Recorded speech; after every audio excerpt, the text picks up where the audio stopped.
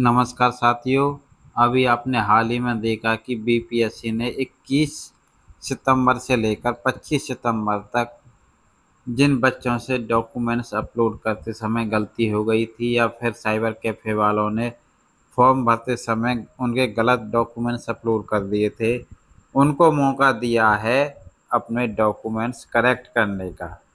लेकिन कुछ लोग क्या है कि इसमें भी मतलब अपनी चालाकी दिखा रहे हैं और पहले कुछ डॉक्यूमेंट्स था, उसमें कुछ कर रहे हैं, या फिर जिनका पुराना डोमिसाइल था, वो नया अपलोड कर रहे हैं। तो आप ऐसा बिल्कुल भी ना करें। यदि आपका कोई डॉक्यूमेंट्स धुंधला है तो आप उसे साफ़ अपलोड कर सकते हैं, या फिर आपका डॉक्यूमेंट्स गलती से जैसे साइबर कैफ़े वाले को आप कागजात दे आए और उसने किसी और के अपलोड कर दिए तो आप चेंज कर सकते हैं। तो ऐसी गुंजाइश नहीं है कि उन डॉक्यूमेंट्स में हेर फेर किया जाए। चेयरमैन सर ने साफ़ साफ़ कहा है the opportunity given to T R E P R T candidate is for documents correction किसके लिए? डॉक्यूमेंट्स करेक्शन के लिए। ना कि डॉक्यूमेंट्स में आप मैनिपुलेशन कर सको।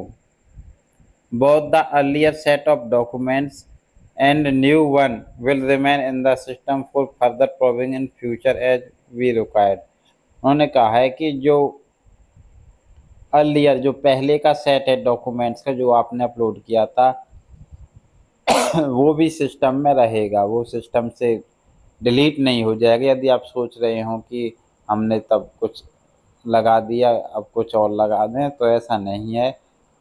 पहला जो सेट डॉक्यूमेंट्स का वो भी सिस्टम में रहेगा, नया भी रहेगा। यदि उनको ज़रूरत दिखेगी तो वो दोनों सेट प्रयोग करेंगे।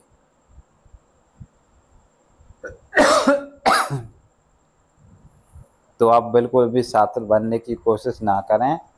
जो सही आवश्यक कार्रवाई है, वही करें। अनावश्यक के विवादों से बचने की कोशिश करें। धन्यवाद।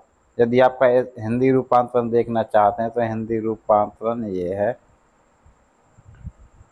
टीआरई, पीआरटी उम्मीदवारों को दिया गया अवसर दस्तावेज़ सुधार के लिए है, न कि दस्तावेज़ में हेर फेर के लिए। दस्तावेजों का पुराना सेट और नया दोनों भविष्य में आवश्यकता पड़ने पर आगे की जाँच के लिए सिस्टम में बने रहेंगे।